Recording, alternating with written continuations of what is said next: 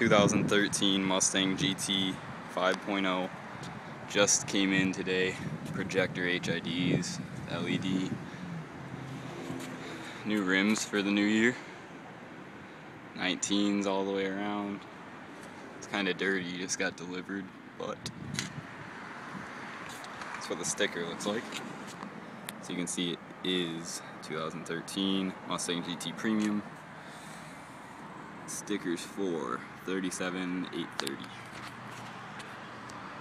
It's a manual transmission, six speed leather, shaker, stereo, new scoops on the hood, and a whole new front end. Looks pretty mean.